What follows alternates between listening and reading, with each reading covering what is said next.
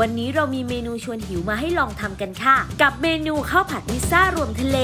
เรามาลงมือทำกันเลยค่ะ เทน้ำมันพืชลงในกระทะจีนไวทะลัก 3 ชั้น 30 เซนติเมตร ด้ามไม้สักตราหัวม้าลาย ที่กระจายความร้อนได้เร็วและทำความสะอาดได้ง่าย ตั้งไฟพอร้อน ใส่หอมหัวใหญ่สับ ลงผัดพอสุก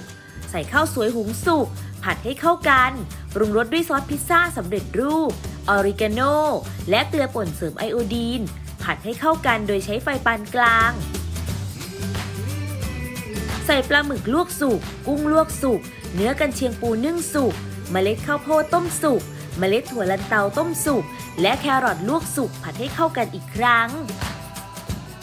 ตักข้าวผัดพิซซ่ารวมทะเลใส่ภาชนะจัดเสิร์ฟ โรยเชดดาร์ชีส และมอสซาเรลล่าชีสขูดขณะที่ร้อนๆ ร้อมเสิร์ฟค่ะ ไม่ว่าจะทำเมนูอะไรก็ไม่ใช่เรื่องยากอีกต่อไป เพียงแค่มีเครื่องครัวสแตนเลสราหัวมะลายค่ะ